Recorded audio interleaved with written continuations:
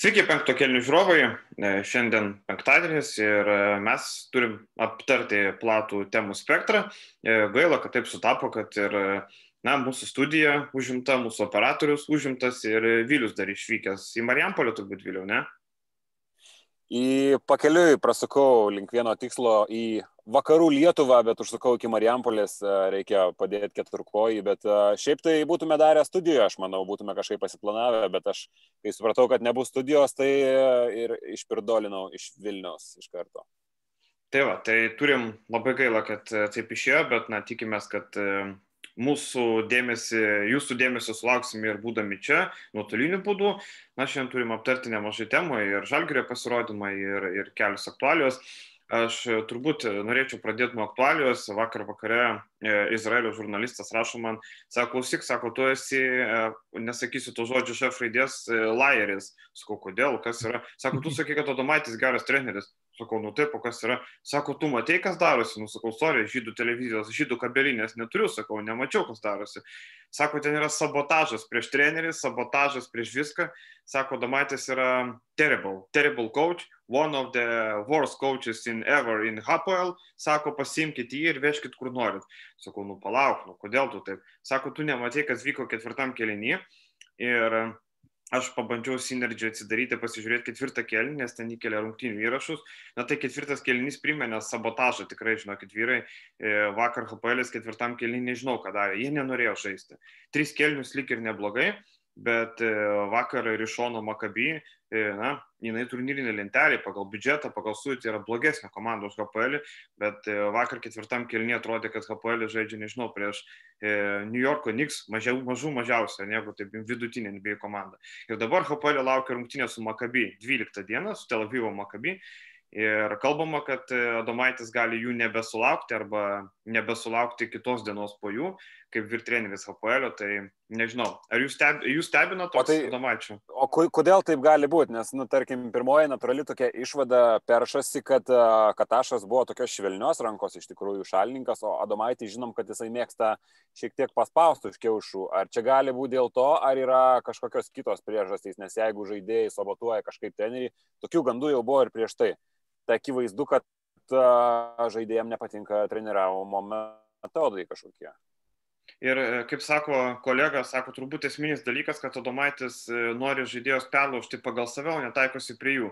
Dažniausiai treneriai, kurie atvyksta sezono vidury, bando, na, iš turimo išteklių įspausti maksimumą, o Adomaitis neva bando perlaužti į savo pusę ir aišku, tai, na, nesiseka tai padaryti, tai turbūt viena iš priežasčių dėl to yra.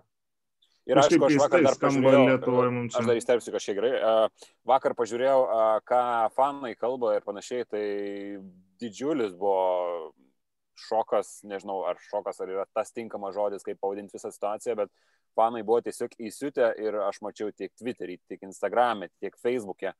Yra šimtais einamos žinutės ir visos praktiškai vien apie trenerį, kad sezonas yra košmaras, kad sezonas yra tragedija, kad to negali būti, tai yra visiška raudonos spalvos, tos vadinamos adom spalvos uh, gėda. Ir vienas labai be nedaugiausiai galbūt ir laikų buvo surinkęs komentaras, uh, toks pakankamai originalus, kad uh, tiesiog uh, bičias uh, surado bilietus į Vilnių, man atrodo, šiai dienai ar, ar, ar, ar kažkuriai dienai nusprinskrydino ir va, prašau, visą informaciją pasimkite treneriui. Tai, tai šiaip nesmagu, kad taip yra, nesmagu, nes vis tiek Adomaitis yra vienas geresnių uh, trenerių Lietuvoje, labai nesmagu, kad taip yra ir šiaip nesmagu, kad taip podcastą pradedam, bet iš tikrųjų tai aktualiai yra gana rimta. Ir šiaip Lietuvoje aš matau, Lietuvoje žmonės irgi nereikia bijot pasakyti, kad didžioji dauguma eina pagal hypą, jeigu mes uh, matėm Adomaitis ryte buvo tų sunkių epizodų, rinktiniai lygiai tas pats, tai Adomaitis buvo prastas labai treneris. Vėliau, kaip jis išėjo iš ryto, kaip jis išėjo tokiu būdu iš Lietuvos rinktinės, kaip jis pasirašė kontraktą su Jeruzalės Apoel, jis kažkodėl pasidarė geras treneris ir jo visi vėl Lietuvoje norėtų. Dabar vėl matau komentarai pilasi, kad taip, taip, Adomaitis viskas aišku, ko iš čia norėjo. Nu, tai žinot, čia į Lietuvos komentarus irgi nereikia reaguoti ko gero, bet e, kas darosi, kas darosi Jeruzalėje, Jeruzalės krepšinio fronte, tai man atrodo iš tų komentarų galima puikiai identifikuotas visas nuotaikas. Adomaitis turbūt Lietuvoje labiausiai pasikėlė vertę spaudos konferencijų metu su skambiom frazėm, su fucking joke, kas labai patiko plačiai tai visuomenė, apie kurią čia kalbi. Ir būtent tada jis tapo vos ne tautos herojumi, o kad Hapoelėje jam nesiseka, na, faktas, kad čia yra turbūt priežasčių virtinė. Katašas irgi ten šį sezoną stebuklų nenuvertinėjo, taip kaip ir kalbėjome gerai, pralaimėjimų tokių gėdingų nebuvo, tačiau e, Domaitis prie komandos vairo stojo jau jai susikomplikavus padėti čempionų lygoje, jis jos neištraukė, faktas, kad tada pašlyjo psichologija klube, kaip ir kalbama, prasidėjo sabotažai. Ir lengviausia viską nurašyti ant užsieniečio trenerio, kuris atvyko vidury sezoną, bet aš manau, kad problemos ten yra kur kas giliau ir mes Lietuvoje žinom, kad na, gal ir nėra kažkoks stebuklingas treneris Dainis Adomaitis, bet tai yra aukšto lygio strategas. Ir Adomaitis, nepaisant visko, e, gavo kažkiek e, permainų, atvyko Stantonas Kidas, e, kuris yra e, tikrai patyręs žaidėjas, Eurolygos žaidėjas, Europo, Eurocapė gerai žaidėjas, atvyko Rėjus Makalomas, kuris pakeitė Džikovaną Brauną, kuris patyrė traumą iki sezono pabaigos. Tai šiek tiek korekcijų buvo, e, taip pat Adomaitis turi savo mėgstamą Kristą Kreimerį, kurį turėjo ryto komandai, bet matom, kad HPL sezonas važiuoja žemyn ir e, Izraelio lygos formatas toks, kad e, pirmos, e, berots, keturios komandos, ke, pirmas penkios komandos į vieną pusę, kitos komandos į kitą pusę, sužaidžia dar vieną ratą, tada žaidžia atkrintamasis. Tai all in all, Adomaičių reikia išvengti ketvirtosios vietos reguliariavimo sezone, nes e, gausis, na kas gausis. Gausis penkta vieta ketvirtfinalį ir pusfinalį Makabį, jeigu pavyks iš Tel Avivo. Tai ir čia labai, visi, visi žinom, kad tas įmetimas į striubą vidury sezono yra toks pakankamai uh, sudėtingas jau čia kažkiek tai pabūnant tuo advokatu, ar ne, iš, iš Adomaičio pusės, kad kadangi tu, Adomaitis apskritai net neturėjo progos pasimti savo asistentus, jis neturėjo progos pasirinkti kažką apskritai iš to komandoje, jis neturėjo neturėjo jokios įtakos, tiesiog atėjo į visiškai suburtą produktą, kuris jau pradėjo, pradėjo veikti. Tai vėlgi čia yra ta tokia sena nuvalkėta, bet iš tikrųjų labai daug ką pasakanti taisyklė ir tie treneriai, nu, yra labai daug pavyzdžių, kuomet antrą sezoną, jie gaudami savo aplinką, gaudami prisiliesti prie tos komandos jau vasaros metu, antrojo sezono metu jau ir su savo asistentais jie jaučiasi kur kas kitaip, bet jeigu čia mes matome visai kitokius dalykus su žaidėjų nusiteikimu, su žaidėjų a, požiūrų į trenerį, tai man atrodo tokie dalykai nėra, čia nėra apie tai. Čia nėra apie tai, kad kitą sezoną viskas tiesiog bus gerai, nes tai yra kitas sezonas tiesiog. Bet tai galiausiai turim situaciją, kad du iš top trijų turbūt Lietuvos trenerių susimovė šį sezoną Rimas Kurtinaitis ir Dainis Adomas. Maitis. Vienintelis Jasikevičius pateisina savo vardą. Ir e, kaip žiūrint, mes e, Kurtinaitį teisinom, kad Aleksijus Švedas, ten taip toliau, žinai, Adomaitį irgi galim pateisinti tuo, kad kaip ir Vilius sakė, atvažiavo sezono vidury viską. Ir aš vis dar laikau Adomaitį gerų strategų, nežinau, e, nemanau, kad jisai, nemanau, kad jisai kažką blogai, kažką blogai pradėjo daryti. Galbūt situacija nedėkinga ir aišku, e, kaip sako, lengviausia žydam nurašyti viską ant užsieniečių trenerių, bet jeigu žalgriai būtų nepaėmęs ant šilerių, nurašytume irgi. tai lygiai taip pat mes skalbtume šilerį, sakytume, o gyvatė, dešimt pergalių tik tai Eurolygoje, kaip kaip taip galima, ar ne? Styvas Viestūrija, ką veikia iš vis komandų, ar ne? Tai Viestūrija. Taip, Sviestūrija. Čia Rytis Višniauskas pasirviravo, man atrodo, šitą medinį margarino ir Sviestūriją, tai čia šautautas ryčiui. Kalbant tai apie, kalbant apie Rimą Kurtinaitį, tai agi, uh, Gomelskis, komentatorius legendinis ir kritikas rusų, nekartą yra pa, pavadinęs ar Itūdis, ar Kurtinaitis fizrukas yra pagal Gomelskį, palaukit dabar priminkit, kuris. Nu, man atrodo, Kurtinaitis fizrukas yra. Tai visai neseniai skaičiau Gomelskio dar vieną interviu, tai dabar sako, kad iš tikrųjų e, vertinant tą pirmą Himkų sezono pusę, tai jam tiesiog yra gaila, gaila Kurtinaičio, kadangi buvo paliktas prieš Švedą ir kitus uh, Vilkus komandos sudėti tiesiog sušaudimu, jokios, jokios atjautos žmogus nejutė iš komandos vadovybės, tai žmogus, kuris yra šiek tiek arčiau tų reikalų, vertina tą situaciją apie Rimą Kurtinaitį kalbant šitaip. Tai ką, e, Adomaičiu palinkėkim sėkmės, kad įsilaikytų e, turbūt HPL, kad e, paneigtų. Arba kad gal... sugrįžtų į rytą. Nu, kad sugrįžtų į rytą gal nereikia linkėti, čia nieko tokio gero nėra, nėra geras linkėjimas, čia žinai, čia toks. E, o jeigu... Rytas rimtai, ir galim tai... geras, manau.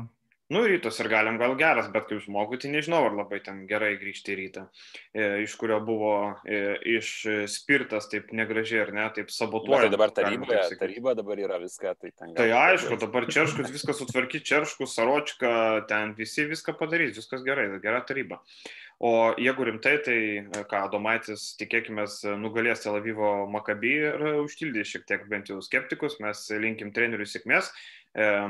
O mes einam prie pagrindinės temos, tai Kauno Žalgirio pasirodymo Eurolygoje. Vakar matėme, e, kaip galima Eurolygoje žaisti visiškai padėjus e, skers ant stalo, taip žaidė, žaidėm Atenų Panatinaikos komandą, nežinau, ką jie galvojo, e, geriau reikėjo neskristi tą Kauną, nežinau, gal reikėjo atsiųs dublerius ar kažką, nu vakar tiesiog tragedija, tiesiog tragedija, ką Panatinaikos žaidė. Žalgeris parodė širdį, parodė atsidavimą, visi krepšininkai, kurie į aikštę, nu, vienintelis sviesturija man krito iš iš konteksto, visi kiti atrodė puikiai, visi darė savo darbą ir galima pagirti Martiną Šilerį už tai, kad paskutinėse rungtynėse sugebėjo motivuoti žaidėjus, kai nieko nebelėmė. Ir matėm, Pantnaikoso vyrai nenorėjo žaisti, o Žalgeris grūmėsi, krito ant kiekvieno kamelio sužaidė puikų mačą, nepaisant to, kad neturėjo visos priekinės linijos. Ir juokaujant galima sakyti, kad Lietkabelis geriau pasipriešino Žalgeriui negu Pantnaikosas. Tai kokius... Visiškai. Ir visiškai ir tokios rungtynės visą laiką yra apie motivaciją, kadangi šiaip Pau dar turėjo vilties pat kilti iki 14-13 e, vietos, nes jiem dar liko pakankamai nemažai rungtynių, tai be šitų rungtynių Kaune dar liko du mačai, Žalgiriui jau buvo viskas aišku, tai yra 11 vieta, kaip ir motivacijos nėra jokios, bet tai yra tavo paskutinis mačas namie ir tu kažkaip, nu, mobilizuojasi arba ne. Tai šiuo atveju, kaip ir tu Edgarai sakėjai, pagarba ko gero Martinui Šileriui, pagarba Pauliui Jankūnui, kurie tie yra veteranai, tos ašys, kurios sugeba komandą užkurti ir paskutiniam mačui namie ir gaunasi toks labai smagus uh, trinktelėjimas durimis, po kurio gal net emociškai keičiasi ir tas visas sezono įvertinimas, aišku, čia komandai nieko nereiškia, bet fanams bendrai, mums pašnekant apie visą sezoną, tas emocinis fonas yra visai kitoks, kalbant apie Panatinaikos, tai irgi visiškai galima pritarti. Ir čia ko gero labiausiai Howardo Centroso pavyzdys viską identifikuoja, žmogus, kuris nu, nėra tragiškas gynyboje iš esmės. E, turi Jis už tai ir vertinamas, jisai gerai gynyboje dirba šiaip atletiškas žmogus, kuris turi labai ilgas rankas, ilgas galūnės, viskas kaip ir su juo gerai, bet vienam epizodė tu pasižiūri, kad Martinas Gebenas jį visiškai tiesiog sulaužo, jis net nepasistengė net, net prisiliesti prie plaukelio kažkaip. Kitoje atakoje, tai yra dvi, dvi gynybinės atakos iš eilės, kitoje atakoje jis ant stačių kojų praleidžia į stiprią pusę, kas jau yra blogiausias kratinys, ginantis vienas prieš vieną Tomas Avokapą. Avokapas lengvai pelnė du taškus iš pokrepšio ir vėliau buvo pakeistas, aišku, Centrosas. Tai čia yra visiškas indikatorius, koks buvo Panatnaikos klubas, bet čia nėra Žalgerio problema. Žalgeris su antra sudėtim sudaužė šitą komandą ir sėkmingai užbaigė visą savo sezoną, kas yra. Šiaip iš tikrųjų geras pastebėjimas, kad tos rungtynės tarsi ir nieko nelėmė, bet jos labai stipriai nuspalvina sezoną.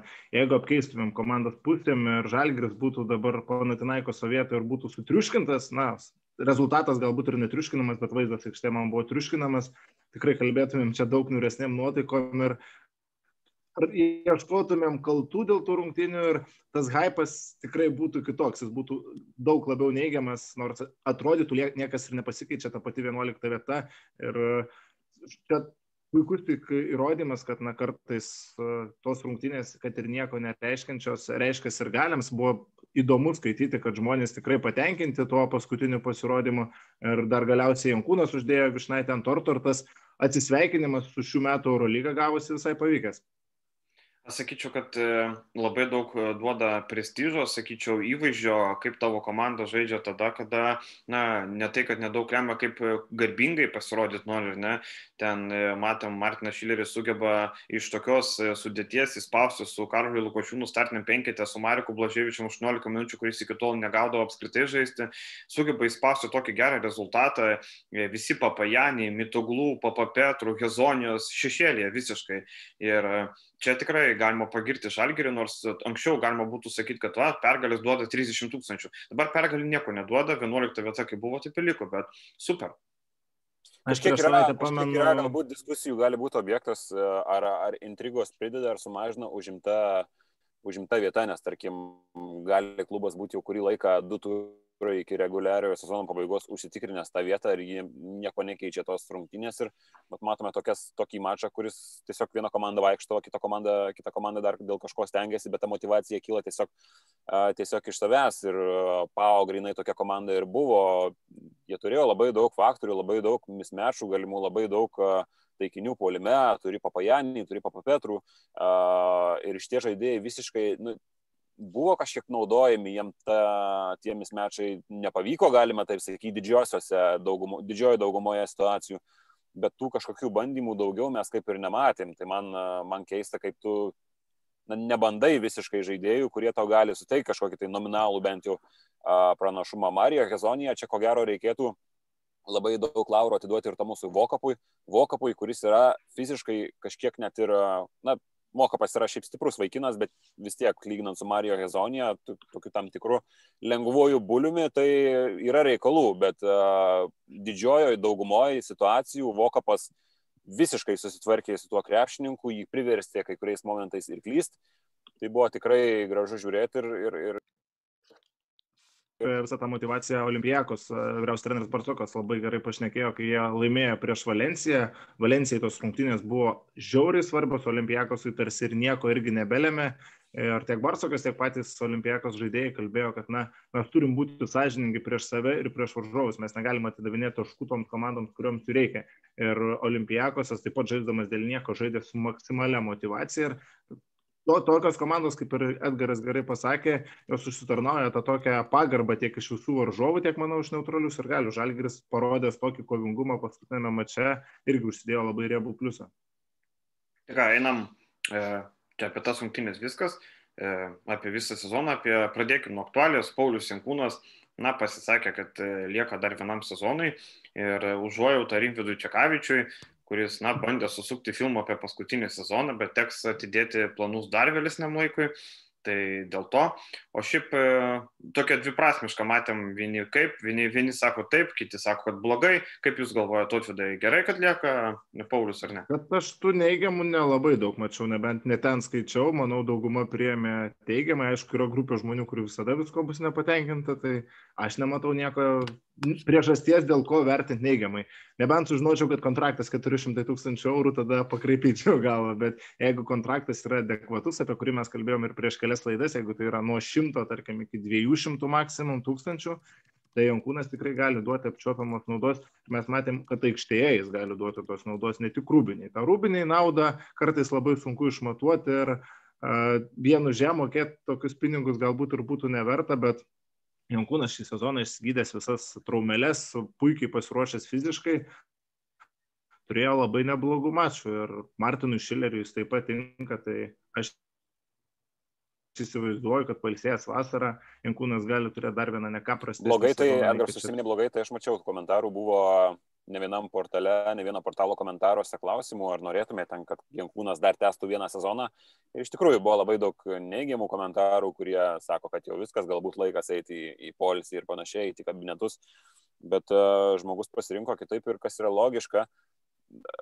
Pusių kažkokių tai savo argumentų turėjo abu galbūt sprendimai, galbūt žaidėjas gali, kaip ir sakiau, praeitoje laidoje, kad galbūt žaidėjas norėtų baigti viską aukštumoje, pakankamai gerai jausdamasis, arba iš kitos pusės žaidėjas gali norėti be, gerai besijausdamas žaisti dar vieną sezoną. Jis pasirinko antrą variantą ir man atrodo, kad kitą sezoną, na, tai visiškai iš akies diletantiškas spėjimas, bet ta rolė turėtų dar labiau sumenk Paulius Jankūno, kalbant apie aikštelę.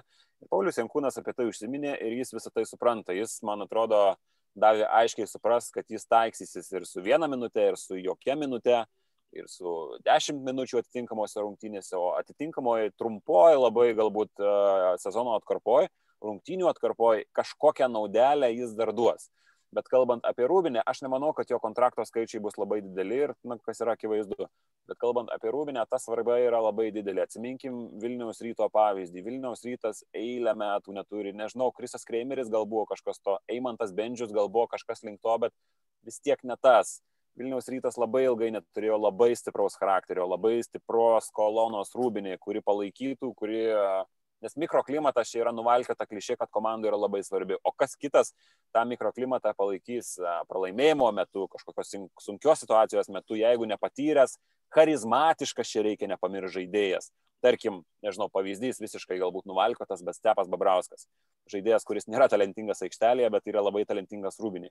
Tai Paulius Jankūnas yra ir tas, ir tas, ir didelis Kauno Žalgerio komandos simbolis. Ir jeigu Martinas Šileris vos atvykę supranta, jau pirmais mėnesiais, pirmom savaitėm žiniasklaidai sakė, kad tai yra Paulius Jankūnas, akivaizdu, kad čia yra jo miestas, jo komanda ir panašiai. Tai man atrodo, viskas tu ir pasakyta. Ir jo nauda rūbiniai, vėlgi, čia yra nuvalkėtas dalykas, visų labai dažnai kartojamas, bet iš esmės tai yra labai didžiulė nauda. Ir per tą šešių pralaimėjimų seriją, per tas dvi šešių pralaimėjimų serijas, Paulius Jankūnas atliko didelį vaidmenį. Tiek Artūras Milaknis, tiek Paulius Jankūnas. Tai šito nereikia pamiršti. O aš ar džiaugiuosi ar ne, nežinau, nekelia kažkokių labai didelių emocijų. Vis tik, ką mes matom plika akimi, tai yra aikštelė, o aikštelė nauda e, tokia, na, tai buvo didelė, visai nemaža. Šį sezoną daug didesnį, nei mes galėjom tikėtis bet ar ji bus kita, kitais metais tokia pati labai diskutuotinas klausimas. Bet sakau, kalbant apie mikroklimatą, uh, labai faina, kad žmogus gerai besijausdamas dar norime žaisti viskas. Aš tik dar vieną momentą pridėsiu, tada galėsiu pasisakyti. Na, nežinau, kiek tai groja, kiek tai svarbu, bet na, aš norėčiau ir manau ir pats Paulius Jankūnas norėtų, ir Žalgirio fanai, kad paskutinės Jankūno rungtynės Eurolygai vyktų ne prie tuščių tribūnų. Manau, toks psichologinis dalykas taip pat šiek tiek suveikia ir atsisveikinti, atsistojus visai žalgerio arenai, manau, jam kūnui gyvenime būtų šiok toks, nežinau, pasiekimas, įvertinimas, o ne matyti tuščias tribūnas ir penkis operatorius aplink areną. Hebra e, atlyginimą pervedė, galim džiaugtis. E, to... Jankūnai ar tau? Ne, mum, mum, mesgi iš, to, iš tos pačios kasos gaunam, tai mačiau išmetę notifikationas, kad tikrai to alga, tai viskas gerai, galėsim e, išleisti penktadienį. Galėsim ledų nusipirkti. jo, jo, ledų. E, apie Jankūną kalbant, tai čia vėl e, prie to paties atlyginimo, kaip sakant, man įdomu, už kokius pinigus jis liks, pabandysiu pasiaiškinti ateityje, kai galbūt bus sudėliotos detalės. Bet aš sakyčiau, kad daugiau 150 nereikia mokėti. Ir jeigu Styvas Vastūrė už 150 nedavė jokios naudos, geriau Jankūnas už 150 duoda kitą naudą. Ir aš labai tikiuosi, kad Jankūno paskutinis sezonas nebus Felipės Rėjoso atvejis, kai Rėjosas išbėgo jau tada, kada jau nebebuvo kam žaisti. Matyti, gal teks išbėgti atkintamosiose, kai Gabrielis Dekas išvažiuoja ir gal dvyliktuko sugebės patekti, šiaip ne taip. Bet iš principo tai mm, aš galvoju, kad sprendimas kaip ir, na, kaip ir logiškas, bet e, kitu atveju, to žiūrint, žiūrint, žiūrint e, žalgerio piniginę, jeigu gali sauliaisti, tada viskas gerai. Ir čia galima paraleliai pereiti prie kito sprendimo vakar. Donatas Dar Ulpa... tik pridėsiu, galėsim pereiti. Žinau, kodėl Jankūnas vis tik pratęsė karjerą, jam taip ir pritrūko tų dviejų dvitaškų iki tūkstantojo dvitaškų Eurolygai. Tai... Taip. tai va dėl to Net turbūt ir pratęsė. O dvitaškio tikrai. Dviejų dvitaškų, dviejų dvitaškų pritrūko iki tūkstančio dvitaškų Eurolygai. Dar jisai gal norės minutėm aplenkti kažką. O Ismailis Vainwrightas yra, Vainwrightas yra Žalgerio taikinys ir vakar irgi mano šaltiniai patvirtino tą informaciją. Ir e, viskas iš esmės yra paprasta, viską paskutinį žodį tarsi NBA klubai, jis domina NBA klubus, e, nepaisant to, kad kai kurie ir gali sako, čia 10 taškelių čempionų lygoje, kas čia per žaidėjas, bet e, Ismailis Veinraitas yra labai stiprus fiziškai krepšininkas, labai gerai gynasi, polime yra labai gerai mato aikštę, komandiškas, gali pataikyti, sužaisti nugarą tai jisai matomas Nigelo Heiso vietoje, bet nebūtinai startiniam penketukė, reiškia, Žalgeris gali turėti dar vieną, e, dar vieną sunkų į kraštą akivaizdu. Ir taip Jankūnas gal netgi bus matomas kaip ir vidurio polėjo kažkurio metu pozicijai. E, aš taip matyčiau, nes trys e, sunkus kraštai tokie. Vėl nežino, kaip gali būti, bet ar vyrai žiūrėjote į Izmaelį kažkiek? Aš žiūrėjau, aš... Vailaitus, tai, tai tiek turbūt ir žiūrėjau. Ir man tik vienas klausimas, ar jis gali žaisti dar kažko, ne tik ketvirtojų numerių ar ne. Aš mačiau jo, na aišku, highlightai patys dažnai juokiamės iš šito, kad iš jų negalima kažko įvertinti, bet tiesiog galimybių kol kas nėra daugiau pastebėti. Tai aš pastebėjau, kad tik nugarą geri žaidimo įgūdžiai, gana greitas, kaip ir, kaip ir gali pataikyti, bet na, kažkokių konkretesnių išvadų tikrai daryti labai labai sudėtinga. Tik man kilo klausimas, ar jis gali dar pasistumdyti per pozicijas, nes na, vis dėlto tai yra šiuo metu gana svarbus dalykas Eurolygoje, kad galėtum na, bent jau dalinai žaisti ir per kelias gali, gali žaisti trečių numerių, gali.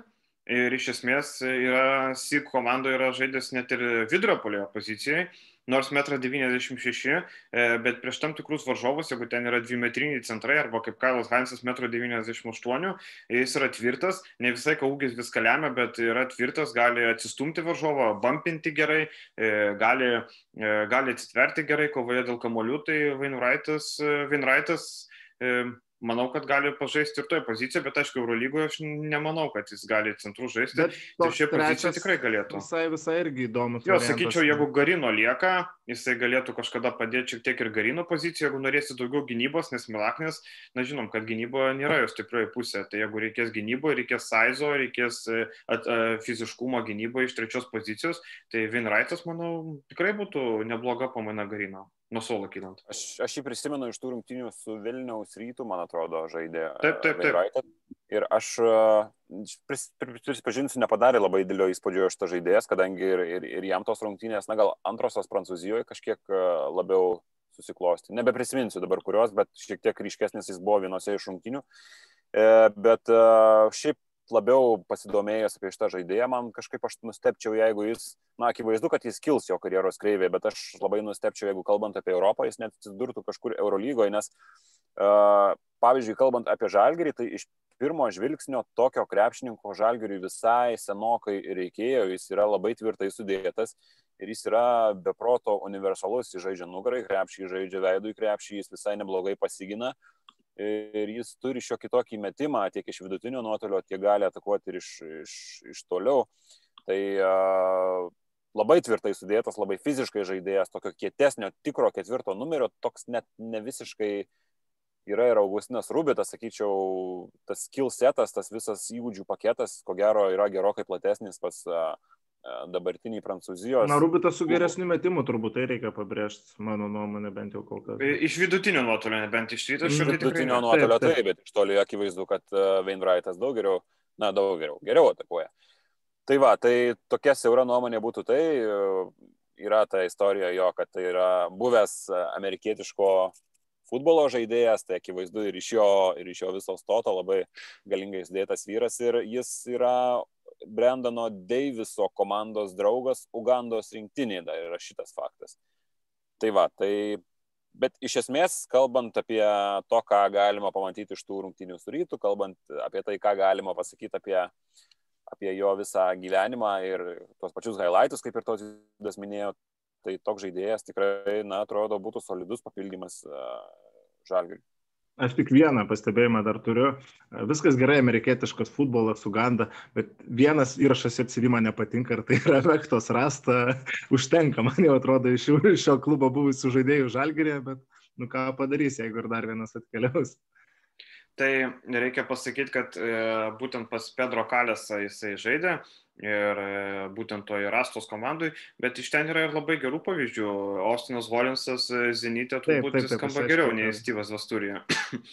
ir e, dar reikia pridėti, kad Vinraitas yra toks kovinis žaidėjas, man labai patinka ta savybė, kad jisai gali įsikasti į batą, kaip sakyti, ir nepaleisti. Tai čia yra labai gera savybė, jis yra juoda darbis ir aš galvoju, kad žalgiriui jau ką žalgiriui daryti. Jisai negali nusipirkti, nežinau, Aleksandro Vesenkovo nenusipirksgi žalgiris dabar, ne? Tai žalgiriui reikia tokių žaidėjų iš čempionų lygos, iš Eurocapo, kurie e, už, manau, kokiu 200-250 gali labai aukštai kilti. Tai aš manau, kad sprendimas geras, Vinraitas, jeigu ateis, aš esu už tikrai įdomus žaidėjas. O kiek yra, sakai, kiek yra, tu sakai, girdėjai, šaltiniai tavo patvirtino, tai kiek yra arti susitarimo, ar tai yra kažkoks, kažkoks jau? Susitarimas yra toks, kad e, kalba, kad žodiškai taip, viskas ok, bet e, lauks paskutinio žodžio NBA klubo, vis dėlto, na, ten ir finansai kiti, ir galimybės kitos.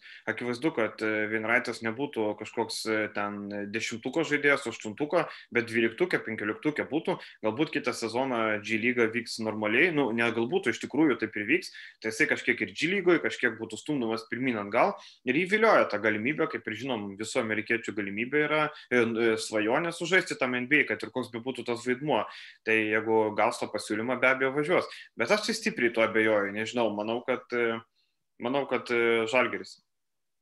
Man jis ir... kažkiek netrodo NBA visiškai stiliaus žaidėjas, jis toks universalesnis, man atrodo, kad e, labiau tinka Europoje, bet čia gal, gal aš klystu, nežinau. Ir man atrodo, kad jis gerokai daugiau pasiūlymų sulauks iš, iš senojo žemynų, bet čia čia labai pamatysim. O mes apie žalgerio įvertinimą kalbam šiandien. Palauk, jo, jo, kalbam, kalbam, palauk, Tolfidas dar kažką norėjo. Aš dar tik norėjau pasakyti, kad labai svarbu tokio žaidėjo įsigijimas būtų, jeigu, kaip ir minėjom, nelieka Nigelo Heiso, nes, na, iš esmės žalgerį gerus įvertinimus už gynybą šį sezoną galėjo gauti, na, du krepšininkai, tai Tomasas Vokupas ir Nigelas Heisas visi kiti kažkokių problemų kažkokiose situacijose turėjo ir jeigu nelieka Heiso bent vieno tvirto gynybinio žaidėjo tarp aukštų ūgių tikrai reikia ir jeigu Vainraitas tai užpildytų, tai būtų labai puiku. Gerai, tai pereikim prie žalgerio to sezono vertinimą. Nežinau, e, aš manau, kad galim šiek tiek kalbėti per tam tikras kaip ir mini nominacijas. Aš kažkiek pasigalvojau, pažiūrėsim, ar jūs pritarsit, pažiūrėsim, ką galim padiskutuoti. Tai pradėkim nuo tokių gal juokingesnių. Tai e, be abejo, manau, kad didžiausias sezono feilas yra Styvas Vasturija. Ir man labai patiko to atvedo vakar žinutė, sako, Jankūno gal ne paskutinis mačas, bet Vasturijos paskutinis mačas Eurolygoje. Tai šitas labai geras. Ir e, aš visiškai pritariu, kad manau, kad Vasturijos daugiau Eurolygoje nepamatysim. Nesu, jeigu Žalgirį liks, tada pamatysim, bet jeigu ne Žalgirį, manau viskas. Steve'as Vasturė savo karjerą Eurolygoje baigė. Ar pritarėt ir ar sutinkat, kad tai yra didžiausias sezono feilas? Dar simboliškai ir tašką pridėjo e, paskutinį rungtynėse. Čia vis, viskas sutampa labai gražiai. Aišku, čia toks juodas humoras gaunasi, bet aš galvoju, kad nei žalgiriui verta jo pasilikti, nei jis traukia Eurolygos lygį, nei jis kažkam bus, ir, bus įdomus iš Eurolygos lygio komandų, tai prašauta, čia jau nieko neskys.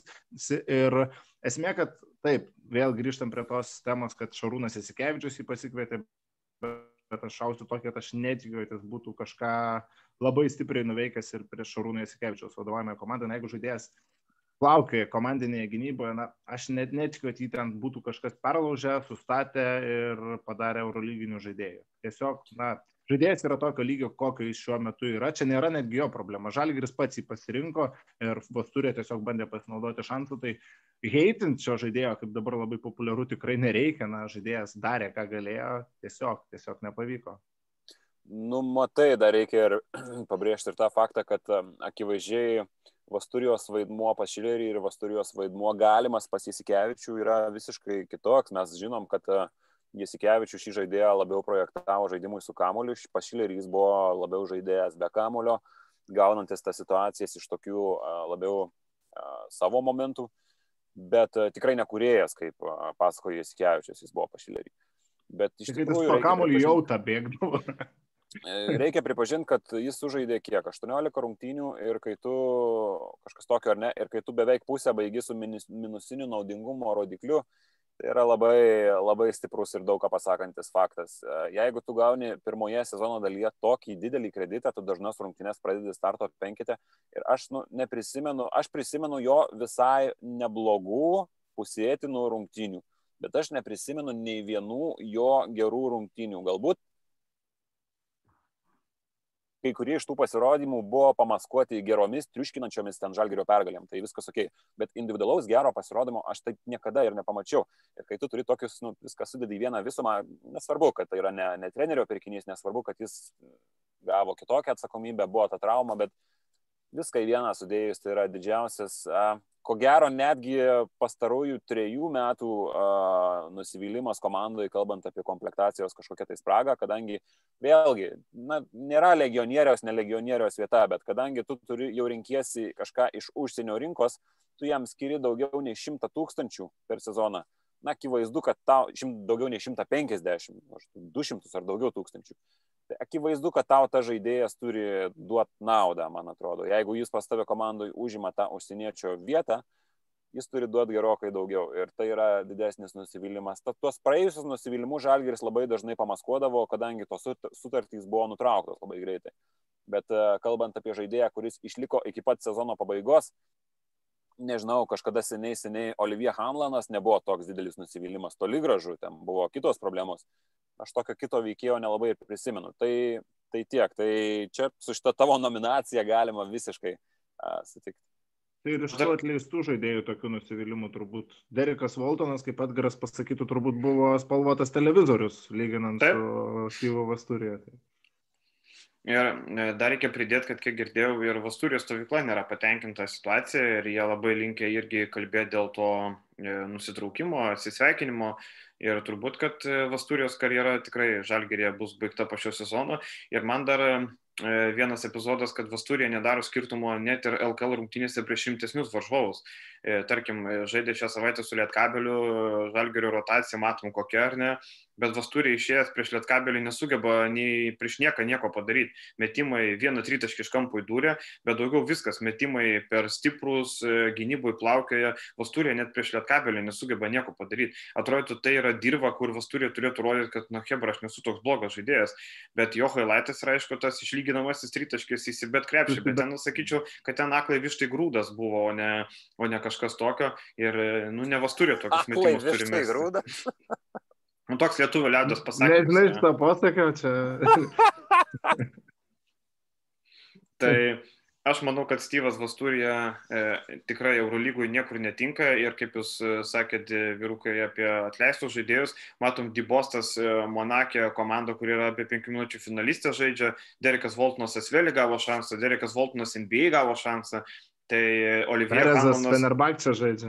Jo, Olivier Hanlonas, matėm, Graikijos lygo yra vienas top scorerių, tai tie žaidėjai nebuvo tokie blogi. Aš nežinau, ar Styvas Vasturė galėtų Graikijos lygo top scorerių būti, arba bent jau, nežinau, gauti kažkokią rolę Svel komandai. Manau, kad tas Svel komandai e, Strazelis ten geriau žaidžia, žaistų Styvą Vasturį.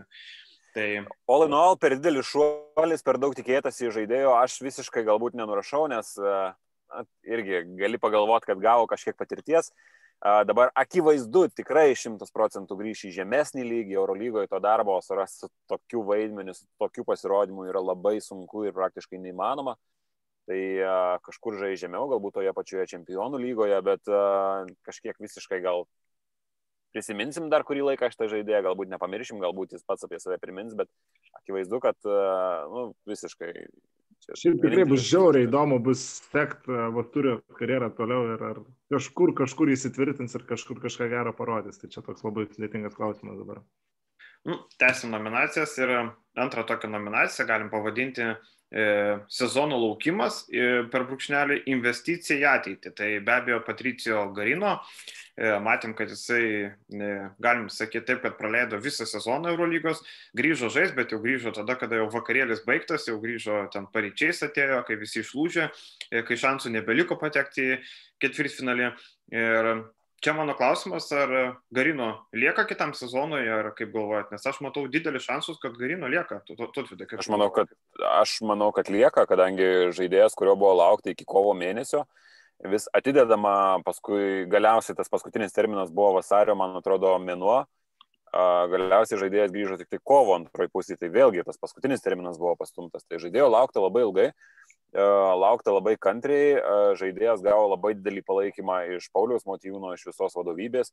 Ir jeigu mokėt nemažą atlyginimą žaidėjai, kuris tau pasirodo tik tai LKL e, iš esmės, nes na, tos rungtynės, kuriuose jis pasirodė arba davė rimtesnės, tas tikras minutės jau buvo nieko nelemenčios, tai man atrodo būtų labai didelė prabanga, o yra pliusas su juo, Žalgeris klubas turėtų, uh, turi visus sprendimo variantus ir, ir visas ateities gyjas savo rankose, ko gero tas, aš galvoju, tas pliusas bus aktyvuotas, o Garino po tokios savo traumų istorijos, po tokio sezono tik taip loja katučių, kad tas šansas būtų suteiktas ir turėtų būti labai dėkingas už tą šansą. Tai aš galvoju, kad čia yra, na, jeigu nieks nepasikeis, man kitoks scenarius būtų labai didelis sukretimas ir labai didelis netikėtumas. Aš galvoju, kad Garino lieka. Tai jeigu Garino neliktų, tai tas laikymas jo iki šio sezono pabaigos atrodytų visiškai nelogiškai. Ir aš visiškai sutinku su jūsų išsakytą poziciją, kad jeigu jau saugotas Garino, jeigu jau jo laukta, tai reikia ir kitą sezoną bandyti. Juolab, kad, na, tie pastarėjai keli mačai man šiek tiek vilties suteikia, kad Garino gali būti geras žaidėjas.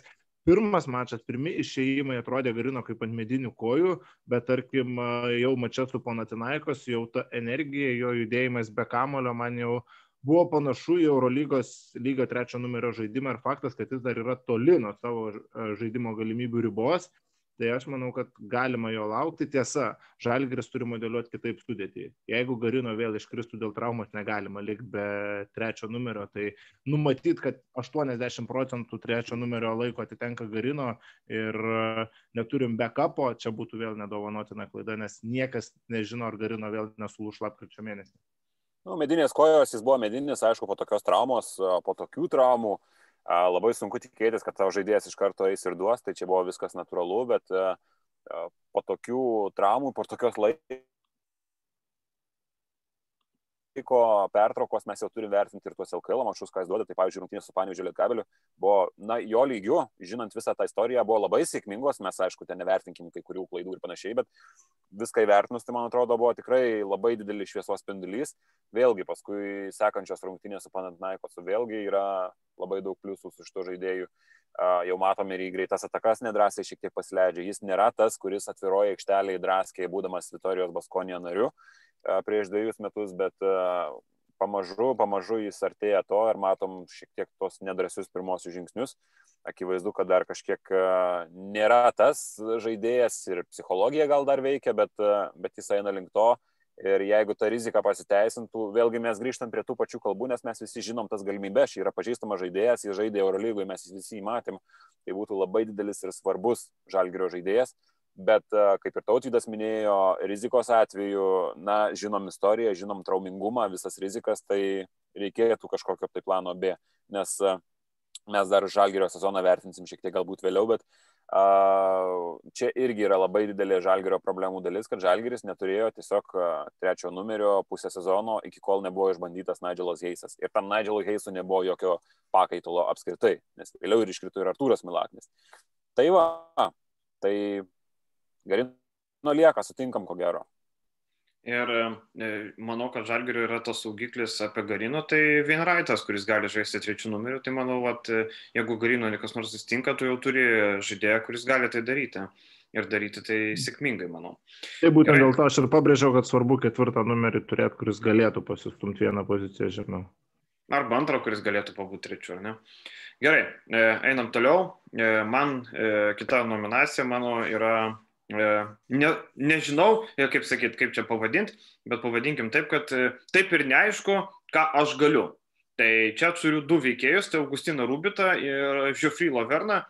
Tai man du žaidėjai, kurie nežinau apie Loverną, gal daugiau aišku, ką jis gali, bet apie Rubitą aš e, per visą sezoną taip ir nesupratau. Jisai ketvirtas numeris ar penktas, jisai pick and popą žaidžia ar arčiau krepšio, jisai gali būti startinis centras ar negali, jisai gali žaisti daugiau nei 20 minučių ar negali. Man daugiausia klaustuko palieka Augustinas Rubitas ir apskritai jis buvo toks žaidėjas, kur Na, man jisai, aš neatsimenu nei vieno jo tokio įsimintino epizodo, partų trajako, man atrodo, Valencijais ten užšaudė trajakas. Trisiškai turiu, jo. Jo, tai man kažkaip Rubitas buvo tas žaidėjas, jis, nesakom, kad jis blogas žaidėjas, tiesiog man jis yra vienas iš tų, kur aš taip ir nesupratau, ką jisai gali ir nesupratau, ką, kur jisai gali būti geriausias, kur gal jisai buvo iki galo neišnaudotas, nežinau. Man jis palieka tokį klaustuką, kokie jūs įspūdžiai tautai. Sutikčiau su tavim ir toks klausimas, va būtent ar jis yra, ar žalgri ne per didelė prabanga turėti tokį žaidėją kylantį nuo solelio ir klausimas, ar jis gali žaisti startiniam penketė. Jeigu lieka Geoffrey Lavernas, na, akivaizdu, kad Lavernas yra pagrindinis centras. Ketvirtų numerių ir vienu metu su Lavernu irgi labai jau grėmėsdiškai tada atrodys priekinė linija mano akimis. Tai tų klausimų, kaip ir sakai, turbūt yra daugiau nei atsakymų po šio sezono. Viena, aišku, kad produktyvus polimėjais tikrai gali būti. Ir tas geras pataikymas iš vidutinės distancijos, tie pikiam popai, ypatingai pirmoje sezono pusėje, paliko gerą įspūdį. Bet uh, man Rubito geras žaidimas siejasi su Žalgirio geru žaidimu, kai komandai gerai eidavo toks vaizdas, kad ir Rubitas tada sėkmingas rungtynės gal, turėdavo, galbūt klystų, reiktų čia labiau panalizuoti jo pasirodymus ir suvest su komandos pergalėmis, bet kaip ir sakai, turbūt labai tiksliai pasakyta, kad daugiau klausimų nei atsakymų po pirmo sezono, bet vėlgi, tai yra pirmosio sezono žalgerį. Daug tokių momentų esam turėję, kad na, pirmo sezono metu žaidėjas dar neatsiskleidžia iki galo. Galbūt čia irgi būtų tas, tas pats variantas. Kad jis gali žaisti Eurolygoje, tai man turbūt klausimų nekyla. Tiek koks jo vaidmuo ir ar žalgerį jis nėra per brangus už turimą vaidmenį, čia jau atsakymo neturiu. Aš tai gal nesutikčiau su tuo, kad čia pirmas sezonas šitas šitas faktorius neveikia. Čia nėra Kevino Pangoso pavyzdys, čia nėra Vasilijai Mencičiaus pavyzdys, čia nėra ten kažkada buvo Brokas Motumas, nėra čia tas pavyzdys, kadangi yra viena svarbi priežastis, kad Augustinas Rubitas į Žalgirį atėjo jau kaip vardas Europoje, jau kaip žmogus, kuris eilę metų žaidė Eurolygoje, žaidė Bambergė, žaidė prie Olimpijos komandai. Tai nemanyčiau, kad čia reikėtų taikyti tą pavyzdį. Mane Rubitas šiek tiek nuvylė iš tos pusės. Taip, jis šiek tiek uh, buvo kitoks, nes mes dar atsiminum tam uh, pre-season uh, turnyre Kaune jį matėm labai sunku ir galvojom, jeigu čia visa tokia priekinė linija jau yra ir matom tokį patį Rubitą, tai kas čia bus, bet vėliau jis to mobilumo šiek tiek įgavo, mes pamatėm jo progresą, bet man kas labiausiai įstrigo, kad ko gero tu turi aiškų aišku kažkokį priešnodį prieš tokius žaidėjus kaip Tavarešas, Papajanis ar dar kažkas, ar ne, kuriuos reikia išsitraukti ir kuriuos tu gali bausti tolimesniais metimais. Akivaizdu, kad Geoffrey Lovernas yra ribota šitame reikale, bet tarkim toks kaip Augustinas Rubitas yra kaip ir tinkamas žaidėjas, bet iš kitos pusės labai ne kiekvienam, toli gražu ne kiekvienam mačiai jis tai išnaudodavo ir tų išnaudotų progų buvo labai nemažai, tarkim, bandai bausti iš vidutinio nuotolio metimais, bet tie metimai paprasčiausiai viskas yra padaryta, viskas yra sukurta, bet jie tiesiog neįkrenta.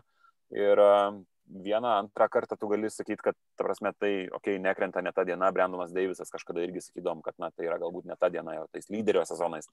Bet kai tai nutinka ne pirmą, ir net ne antrą, ir ne trečią kartą, na, šiek tiek kelia klausimų ir galbūt nuvilia. Tai va iš tos pusės, kad uh, tu turi kažkokį tai priešnodį, uh, bet tu ne visada žinai, kad jis tau suveiks. Aišku, čia apie bet kurį žaidėją tą patį gali pasakyti, bet e, su Rubitu šitas labai išaiškėjo.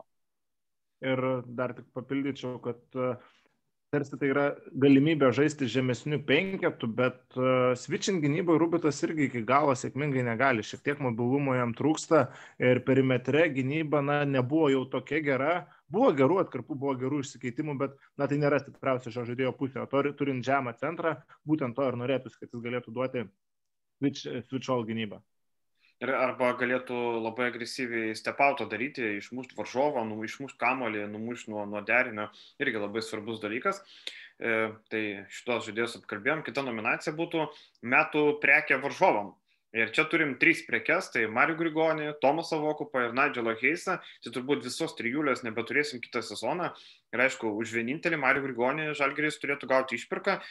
Ir kiek aš žinau, tai turėtų būti apie 200 tūkstančių eurų, ne, ne mažesnė suma, bent jau šiuo metu to, to, tokia yra kaina nustatyta. Kiti du, du žaidėjai, Vokupas ir Heisas. Ir e, kiek aš žinau, Heisas yra žiūrimas Eurolygos klubų nemažai kaip ir trečias numeris, bet atsarginio rolė tiek ketvirto, tiek trečio numerio. Vokupas taip pat žiūrimas kaip atsarginis gynėjas, kuris išėjęs aikštę įneštų gynybos, įneštų šiek tiek kūrybos, bet žaiddamas negrinai pirmų numerio, labiau antrų. Matome, Eurolygoje yra dažnai žaidžiama dviem kuriejais, kartais net trim kuriejais, tai čia nėra problema, ar antra pozicija, ar pirma.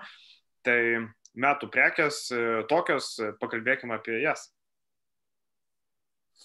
Akivaizdu, man tai net nėra tai, kad tas pasakymas, kad didesni šansai, kad jų nei vieno nebus, man atrodo, kad visi šansai, kad jų nei vieno nebus. Akivaizdu, kad Džonas Miklovas iš Basket News pirmasis paskelbė dėl, dėl Marijos Grigonio ir CSK ir akivaizdu, kad ten viskas yra jau arti to. Kalbant apie Nigelą Heisą, jis jau pernai norėjo išvažiuoti, tiesiog viskas jam nesusiklostė, jis bandė kažkaip dairytis į kitus pasiūlymus, jis nebuvo suinteresuotas, kad aš viskas lieku tik žalgerį. Tai man atrodo, jis pribrendo šitam reikalui jo labiau ir šį sezoną ir tas pribrendo tinka ir Tomasui Vokopui žaidėjas, kuris čia praleido jau trejus metus, žaidėjas, kuris užsitarnavo šiokį tokį vardą Eurolygoje ir žaidėjas, kuris jau girdisi, kad sulaukė šiek tiek pasiūlymų ir iš Eurolygos komandų arba bent jau tokių kalbų. Tai man atrodo, jų nei vieno nebus, o geidžiamiausia prekėje ant šito stalo akivaizdu, kad yra Marius Grigonis, kuris šiek tiek išsikvėpė žaidėjas, kuris ir vakar nedemonstravo jau savęs tokio, kokį mes įpratę matyti. Ir akivaizdu, kad jeigu būtų dar vienas Eurolygos rungtynės, ko gero scenarius būtų tas pats, nes ta pati metimų kokybė, tu turi tuos metimus, tu turi tą metimų selekciją, tavo kūrybiškumas niekur nedingo, tu susikūri situacijas, bet patys metimai po driblingo, jie jau nebe tokie, kokie buvo. Tai kaip ir kalbėjom, čia yra senos problemos, Grigonis šiek tiek įsigazavo ir akivaizdu, kad jam reikia laisvadienių, jam reikia palsėti, pabūti su šeima, atsikvėpti ir ties LKL finalais Žalgeris gali turėti tokį Grigonį, kokio kokį esame pratę matyti. Arba neturėti. Ten nėra jokio skirtumo ir ten nebus jau jokio skirtumo. Tai va, tai o... šitos prekės trys ir jos bus visos išporceliuotos labai greitai. Aš paklausiu šiek tiek kitaip, o kurį iš šių trijų žaidėjų, jeigu galėtumėt pasilikti vieną, pasiliktume. Tarkim, suveskim ne, ne vienodas kainas, tarkim, Grigonis už 650 tūkstančių, kiti du už 400, tarkim, tūkstančių, 350. Kurį pasiliktume? Vieną. Blembo. E, turbūt logiškiausia būtų pasilikti Grigonį, e, bet e, man atrodo, kad šitoje situacijoje Grigonį pakeisti šiek tiek lengviau negu Vokupą iš tos pusės, kad e, Eurolygoje labai sunku žaidėjams, e, naujiem žaidėjams, naujų žaidėjų apskritai beveik nėra. Sukasi tas pats ratas ir jeigu kažkuri komanda atranda kažkokį perliuką, tai jam vis tiek turi daug mokėti. Nigelas Williamsas Gosas dabar yra tas žaidėjas, kur turbūt grįžė Eurolygą iš lokomotyvo, bet jis bent atrodo turi pliusą, tai ten nežinau, turbūt gal taip ir nevyks, arba Milušas Teodosičius su Virtusu galbūt ateis ar ne, bet naujiem žaidėjams labai sudėtinga. Pasižiūrėkime, visi naujokai, kurie pritampa, tai yra ketvirta pozicija, trečia, metikas, gal e, ir centram labai sudėtinga, žaidėjami ypatingai. Vietoj Grigonio surasti skorerį galima. Ir, o štai vietoj Vokopo surasti gerai besiginantį, atsidavusi gerą žaidėją. Na, nesakau, kad jis labai geras kuriejas, bet jis e, geras žaidėjas. Kuriejas nėra geras, bet žaidėjas jo, neblogas. Tai. Nebeveikia modelis, kad, na, kiek 10, turbūt 12 metų atgal parsiveš kažką iš NBA suolo galo, iš vos ne G lygos ir, na, plus minus prilips. Daug tokių atvejų turėdom dabar. Kiek iš G lygos žaidėjų prilimpa ar iš NBA dugno e, tolelio galo. Na, tokių atvejų tai logika, nedaug. Tai aš irgi, logika... aš irgi būčiau ties, pabaigsiu, kad turbūt ties Tomaso Vokapo išsaugojimo ir Nigelas Geisas irgi būtų labai norimas kitam sezonui, bet turbūt neliks. Logika yra labai paprasta, jeigu tu nori patikrinto vardo, turi labai stipriai uh, atverti savo piniginę, o jeigu tu nori kažką traukti, kažkokį zuikį ir riebų iš skrybelės, kaip Tomasas Vokapas buvo kažkada, kuris, kurio pirmas sezonas irgi nebuvo kažkoks labai fantastinis, uh, tai tu turi labai stipriai rizikuoti ir gali labai stipriai nudegti, plus tu turi Roko Jokubaitį, labai didelį šansą, jeigu turėsi kitą sezoną, jis greičiausiai bus antras komandos uh, žaidėjas ar kažkas tokio. Ir, ir tu turi, turėt, tu turi pataikyti su jų žaidėjų. Tai šitoje situacijoje, ko gero, logiškiausias variantas būtų Tomasas Vokapas, bet aš, kad nebūtume mes visi vienodi, aš pasakysiu, kad uh, aš išsaugočiau Mariu Grigonį, nes tai yra lyderis, tai yra akivaizdus uh, ir kuriejas, ir uh, žaidėjas galinti žaisti be kamulio, jis neapsunkina kitų, jis neapsunkina savo komandos autoritetu, savo autoritetu, savo kažkokiu tai statusu, savo būtinybę surinkti 15-20 taškų. Jis yra pajėgus individualiai. Jis yra lietuvis, kaunietis, uh, Jankūnui nueinant tokie žmonės labai svarbus. Kitą sezoną nueis ir Artūras Milaknis. Tai jeigu kalbant apie ilgalaikį kontraktą ir iš tos pusės, kad man reikia įnešti ir į kitą pusę argumentų, nes jūs abu prie vienos pusės prilinkot, tai aš už Grigonį pasisakau. Ir tai aišku, Grigonė e, labai, čia Viliau, čia tu nori būti širdžių čempionas, aišku. Čia... Aišku, noriu, ką. Man, mane vadina visų, mane eilę metų, kiek aš tam podcast'e sėdžiu, mane jau Adomaičio pakalikas, dar kažkas, nu aš noriu irgi pajot ant to koto. Nu, tai, tai supranti, tai e, dar pasakyk, kad Petrauskas, tegul amžinai komentuoja Eurolygą ir ne, vis, visi laikai ant šito eina. Ne. Ir, e, tai būtų melas. Čia teisingai. O baigiant Grigonio temą, apie Heisą nieko nesakėm tokio, ar norėtum ar ne. Man Heisas, e, aš labiau, mažiausiai norėčiau, aš matyti e, Grigonį, aišku, e, visi norėtume Grigonį saugot labiausiai, bet jeigu žiūrint iš piniginės pusės ir taip toliau, tai turbūt mes pasirinkom tokį alternatyvę variantą, alternatyvų tokį variantą. Ir aš manau, kad už 650 Grigonis jokių būdų neliks, nes ten jau milijonai vaikščių, tai vargu ar ten 650 manoma. O Heisas, Man, man kas su Heisu nepatiko, tai kad jisai e, kartais išnykdavo. Aš manau, kad geras žaidėjas yra tada, kada jisai gali išnykti na, iš 34 turų 3-4, o kitose jis gali nesužais labai gerai, bet jis gali būti matomas, gali būti tas, kaip sakau, motoras vadinamas ar ne, kurio pilna aikštelė, jisai daro kitus dalykus. Heisas dažnai išnykdavo, jeigu nepaina polimas, tai Heisų nebėra. E, jis ten tada nebepataiko, slunkius toks tampa. Nežinau, man Keisas paliko tokį dviprasmišką įspūdį ir jisai, manau, kad geras žaidėjas, rolinis geras žaidėjas, žalgeriui geras žaidėjas, bet aš nematau jo elitinėse Eurolygos komandose su labai svarbia rolė. Aš manau, kad Max, kuris gali pretenduoti, tai nežinau, Fenerbakčia vietoj Dišono Piero tai tikrai ne, tai netgi ir ten ne top 8, gal Zenitę sustiprinti. Valencija. Suolą. Valencija, Zenitas sustiprint suolą, e, nes panitkai jokio nėra e, pakaitalo keisti Riversas, matom, kad nebegali lygos žaisti ir Rusijos žiniasklaida tarp pitkos tarpuoja labiausiai keisti Riversą, kaip labiausiai nepasisekusi Zenito pirkinį. Ir e, čia jau mato, kad Paskalis per daug įsimylėjo savo buvusią auklėtinį, nes Riverso sezonas iš tikrųjų yra prastokas ir dar traumos gadino, tai žodžiu, Nu, bet čia jau kita opera. Gerai. Aš prisimenu, prisiminiau, vieną, prisiminiau vieną aspektą, kur tu dabar pasakai Rusija ir tarkuoja tokie raktiniai žodžiai. Tai uh, Gomelskis labai dažnai vėl aš apie Gomelskį kažkaip, šiaip, šiaip nėra geras ženklas labai. Čia Modestas Kurkauskas podcast'e dalyvauja, ar Vilius Tolgaitis.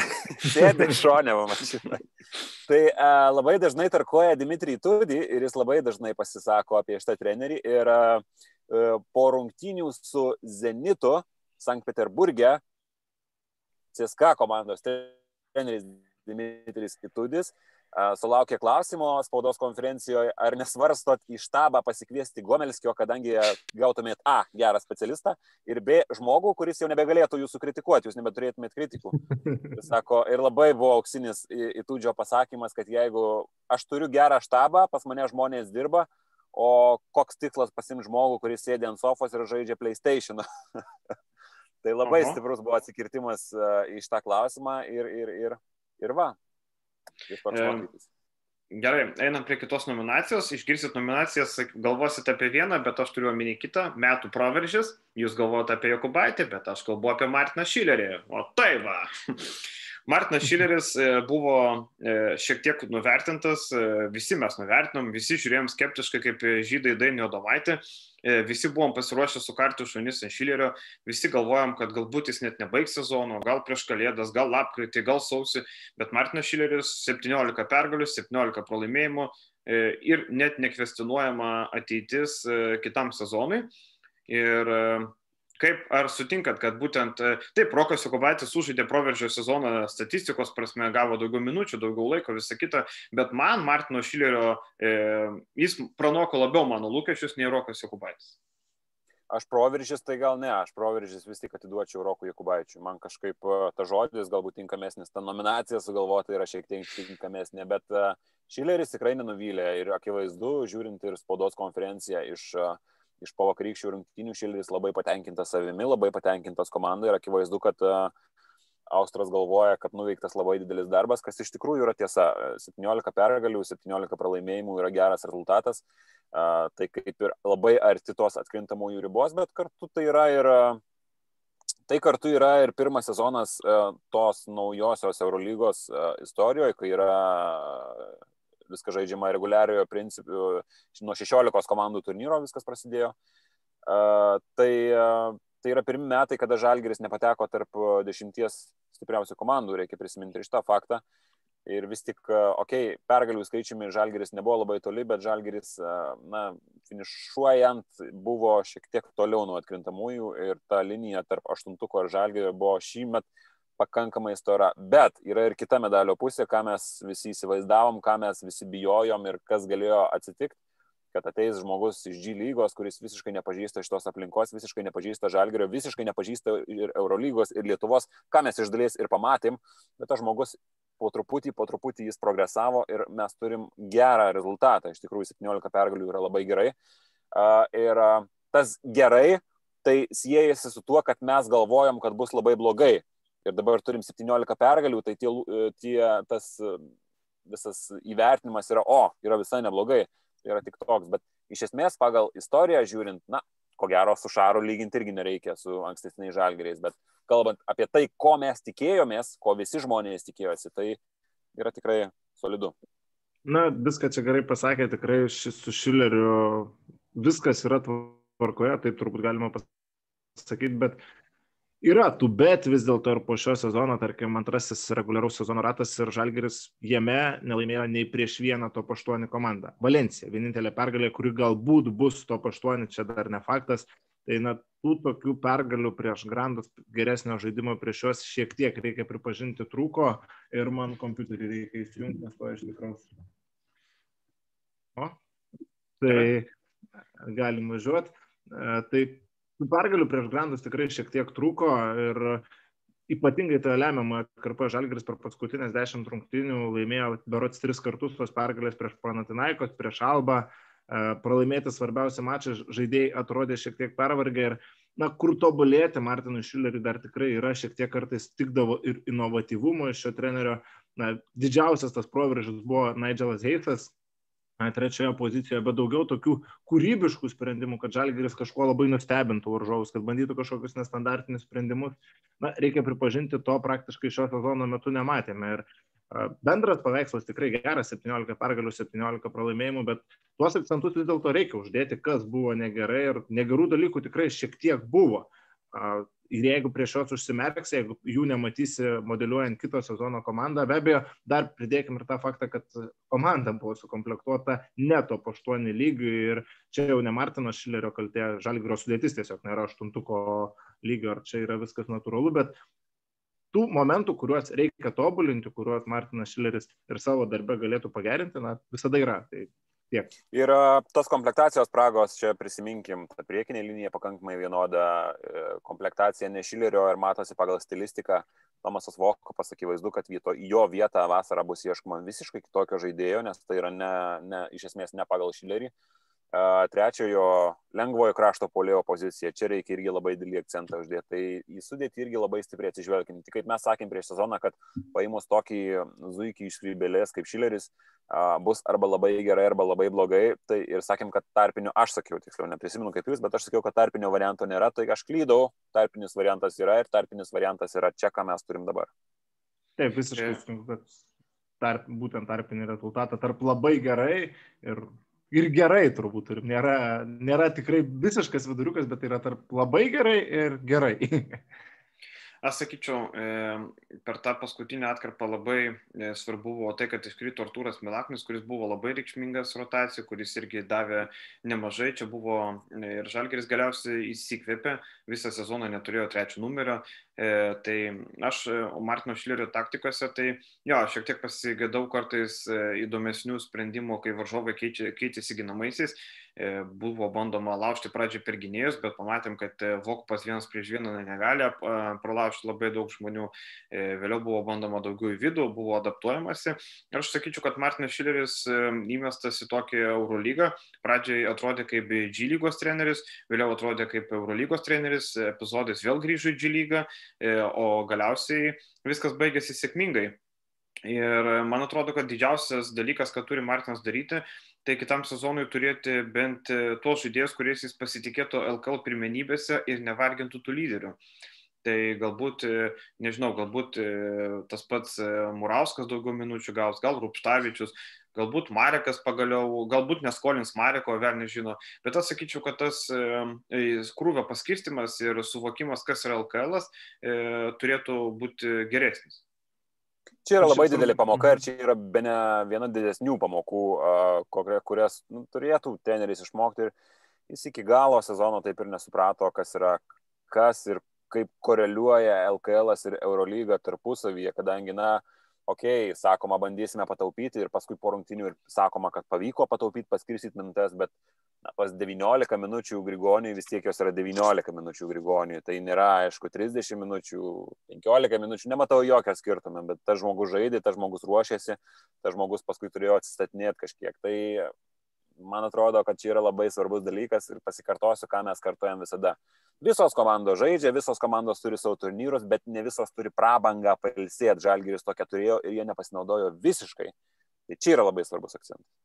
Šiaip dar vieną pliusą gal išskirčiau Martino Šilerio, kad jis sugebėjo kiek jisai, kiek ir Paulius Jankūnas bei kiti veteranai sukurti tokį bent jau iš pažiūros gana neblogą mikroklimatą komandai. Tas tolelis visada atrodė tvarkingai, nebuvo rungtinių, kad kažkokia kūno kalba žaidėjų užduotų, kad kažkas yra netvarkoje. Visada tas palaikymas buvo ir vakar tas labai puikiai jautėsi, kad komanda yra laiminga tuo, ką pasiekė ir tuo rezultatu. Ir čia yra, manau, ir trenerio nemaž, nemažas nuopelnas. Tai ne yra, vien taktika krepšinė yra svarbu, svarbu ir, yra ir trenerio, dalis, ir trenerio dalis, bet čia būtent yra tai, apie ką mes kalbėjom, ta Rūbinė, tas Jankūnas su Artūru Milakniu, nes uh, jo, kai tu neturi apie ką, ką gero apie žaidėją pasakyti, dažniausiai gali sakyti, bet jis Rūbinė geras bičias. Aišku, už tai milijonų nemokėsi, bet uh, kalbant apie Jankūną ir Milaknį, tas pasakymas apie Rūbinę įgauna kitokią reikšmę, nes ką mes matom ant suolo, ką mes matom žaidėjų veiduose, ką mes matom kovingume, Visa tai yra darbas rūbinė irgi kažkiek, tai Paulius Jankūnas čia yra ryškiausia figūra. Tai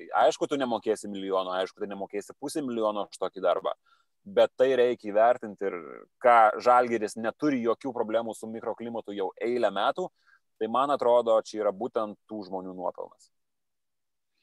Einam toliau. E, apie individualius žaidėjus pašnekėm, čia galima būtų nominacija metų mokyklą baigęs jaunuolis arba metų e, diržą užsijuosintis sniperis, bet, e, na, tiek to, nėra ten daug, daug ko kalbėti. Manau, kad apie Lukošiūno, Gebino ir Mareko perspektyvą žalgerį pakalbėsime jau po visą sezoną.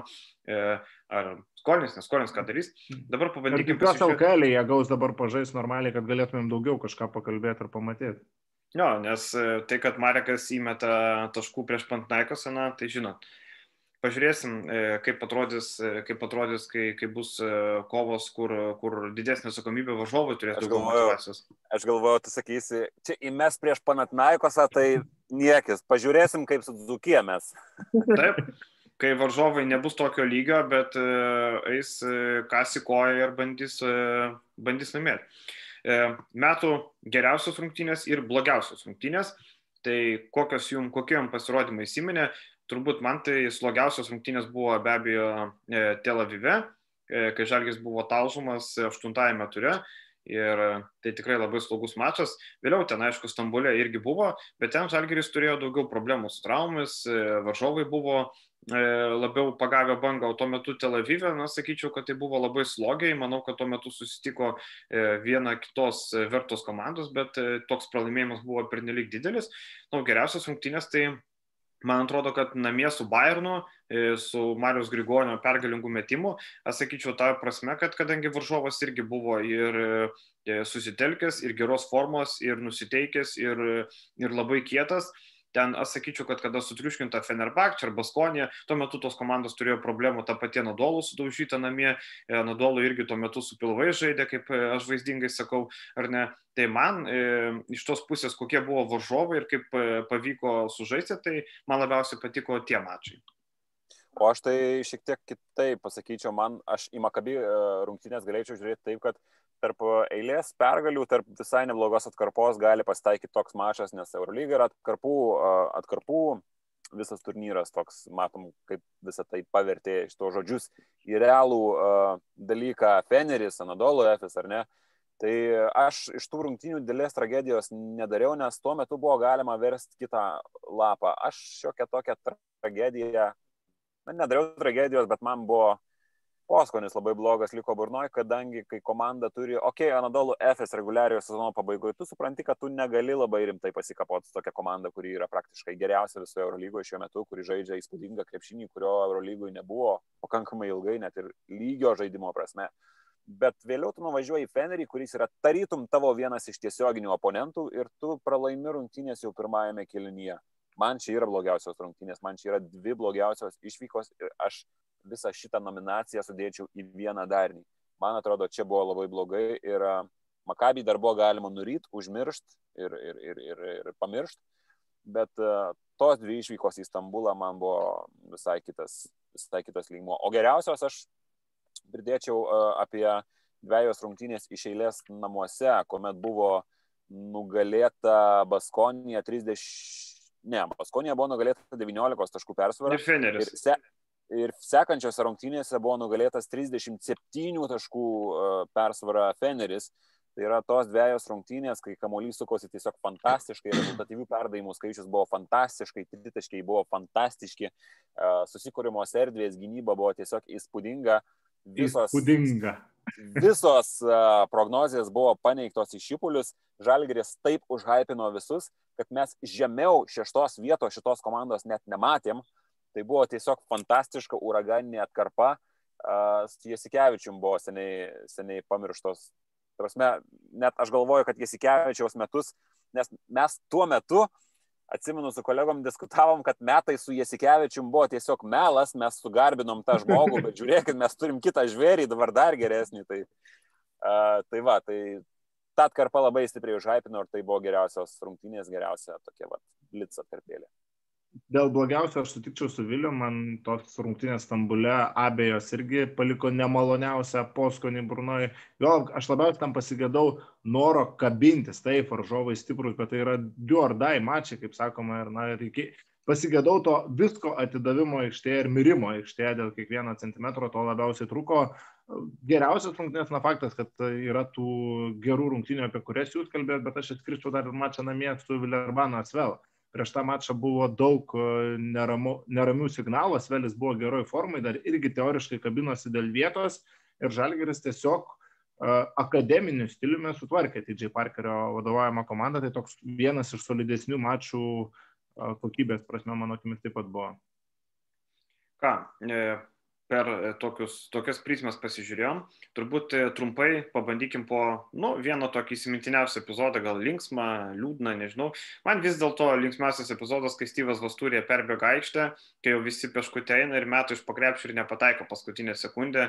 Tai man šitas labai buvo toks linksmas. Žinoma, kad įsimintiniausi epizodai Marijos Grigonio, e, du pergalingi metimai, Žalgeris e, retai padovanojo tokių epizodų, tokių, m, kai išplėšimas pergalės, bet e, čia tokia geriausia, o linksmiausias, nežinau, Styvas Vasturė turbūt, nepyk Styvai, bet e, tavo metimas iš pakrepšio laimė linksmiausias. Check in a full number one. E, nežinau, man tai liūdniausia šiaip. Aš, man labai gaila buvo iš to žmogus. Aš, aš iš tos pusės žiūrėjau, tai kalbant, tu užsiminėjai apie liūdniausią, mes galime įtraukti, man atrodo, tai. Aš man nežinau, aš dabar, vat, aš vis dar negaliu pamiršti ir vakarykščių rungtinių, jeigu kas matėt, uh, Baskonėje žaidė su Valencija. Ir, uh, ir kalbant uh, prieš uh, prieš savaitę Münchenė, Johnsono metimas iš aikštelės vidurio. Tai, o vakar, vat, kas, kas nematė, irgi priminsiu, Pierre Henry, reikia, taiklaus, reikia netaiklaus uh, baudų metimo, tai žmogus sugalvojo iš jėgų mest į lentą. Tai tokių rungtynių ir akivaizdu, kad tai yra negalimas uh, veiksmas ir tu tiesiog atiduodi kamuolį lengva ranka varžovom. Tai, tai tokie šektina full, juokingiausi du, o iš žalgerio, nežinau, buvo, man labai dažnai daug kartų įstrigo konkretaus pavyzdžio nepaminėsiu, bet Joffrey Loverno tokie keisti sprendimai, ar ne, tai kartais atrodo nei juoktis, nei, nei, nei verk, tai, tai gal jį paminėsi dėl įvairovės. Liūdniausias, tai aš tik dabar gal kažkuris atsiminti prieš karo, kas Jokubaitis neįdėjo mačo gale, kai buvo galima perlaužti Barceloną. Prieš Milaną, man atrodo, ne? Prieš Milaną, ne. kur buvo tas, jo, galbūt, gal žiūrovų pataisys, bet galbūt ir prieš Milaną, kur ten žalgiris sugrįžinėjo į rungtynės ketvirtam kelnį ir Jokubaitis greitoje atako į neįdėjo į krepšį, tai čia turbūt toks liūdniausias iš įsiminusių epizodų, o iš linksmų epizodų Jankūno tritaškai, iš tikrųjų irgi antroji sezono pusėje, kiekvienas įkritęs tritaškis tarsi pradžiugindavo naujom spalvom gyvenimą. Ir ką, paskutinis, paskutinė kategorija tai yra bendras pažymys ir už pasirodymą 17 pergalės, 17 pralaimėjimų. E, aš manau, kad e, Žalgirio 11 vieta atspindi realią situaciją. Aš pasižiūrėjau, mes prognozavom 9-11 vietas, tai mes, e, na, mes pataikėm. Daugelis turbūt prognozavo tas pozicijas prie sezono, kad Žalgiris bus arti to aštuntuko, 11 vieta, netrodo ne taip arti, ne 9, ne 10, bet turint omeny, kiek laiko tęsiasi tas miksas dėl patekimo, turint omeny, kad e, labai daug pergalių surinko patekę, tai aš manau, kad 8 balai už 17 pergalės, 17 pralaimėjimų yra pakankamai adekvatus vertinimas, e, žiūrint į visas aplinkybės. Aš tai pažiūrėsiu į visą tai kaip į savo, per savo prizmę mokykloje. Aš buvau mokykloje toks uh, stiprus vidutiniokas, niekas labai nenustebdavo, jeigu aš dešimtuką paraudavau iš kokios istorijos, bet niekas ir nenustebdavo, Aš jeigu aš fizinę. nepasiruošęs, ne, nepasiruošęs ateidavau ten į darbus kokius, ar juokauju, ar ten iš fizikos koks ketvirtukas pareidavo. Tai man buvo sunkiausia užduotis, atsimenu, chemijoje. Tai jeigu aš chemijoje gaudavau septynetuką, kas yra vidutinis pažymės, nėra labai geras, tai aš buvau toks, yes! Wow, kosmosas. Tai uh, man žalgerio sezonas yra panašus tai aš vertinčiau tarp 7,5 ir 8. Na, aš kai rašiau pažymus, tai vidurkis gavosi visų žaidėjų sudėjus netoli 7, bet be abejo, Bosturijos trejetas labai stipriai numuša klasės vidurkį, kaip sakant. Jis pagal durniukų programą galėjo mokytis, būtų daugiau. Lai niekas nepagalvoja, kad čia durniukų klasė, ne? tai, tai, tai iš esmės šiaip bendras turbūt turėtų būti apie 8, bet irgi tarp 7,8, o ne tarp 8,9. Suapalinant 7,7 ar 7,6. Kažkas tokio. Šiaip sezonas tikrai, kaip ir sakom, turbūt vykęs ir galim džiaugtis, kad Žalgiris praktiškai, praktiškai iki paskutinių turų buvo realus pretendentas į aštuntuką. Mes būtent tai ir akcentavom prieš sezoną, kad, na, tebūnė duoda Žalgiris viltį. Ta viltis vienu metu net ir per didelė buvo, mes jau apie ketvirtą galvojam. Tai ką, e, perbėgom per visą žalgerio sezoną, tokia įdomesnė prizmė, tikrai neketinom per 34 turus bėgti ir nagrinėti kiekvieno mačo atskirai, esam apie tai kalbėję daug. Labai liūdna, kad reguliarusis sezonas baigėsi ir lieka, e, lieka formal, žalgerio nieko nelieka, kai kam lieka formalumas, kai kas pradės atkrintamasis. Apie atkrintamasis mes pakalbėsim būtinai kitą savaitę, kai bus aiškios poros, e, kai sužais atidėtus mačius. Būtinai pakalbėsime apie žalgerio ryto derbį, kuris bus įvykęs, nes kalbėti prieš tai, na ką ten kalbėti. Matėm, žibėnų nenugalimumo mitas krito po pasvalio e, pieno žvaigždžių bidonų. Mm, e, pieno bidonų krito, tai žibėnas e, pralaimėjo ir manau, kad sekmanį pralaimės dar kartą, bet apie tai nėra ką daugiau kalbėti. Tai ką, mes norim padėkoti visiems, kad išklausėt mus, pažiūrėt mus. Auksas ir pienė žyba. Taip, auksas ir pienė žyba, čia geras. E, subscribinkit, laikinkit kanalą. E, Ačiū uždėmesi, ačiū Viliui, kad pasijungė iš telefono, ačiū Totvidui, ačiū iš man. Kompo, aš su kompiuteriu, prašau, ne. A, aš... atsiprašau. Atsiprašau, tada dar geriau. E, galėsiu planšetę, būtum kaip pavėžėjas, atrodytum, žinai, planšetės pas visus yra, tai atrodytum panašiai. Galėjau. Tai e, dėkojam ir pasimatom būtinai kitą savaitę. Sėkmės ir iki.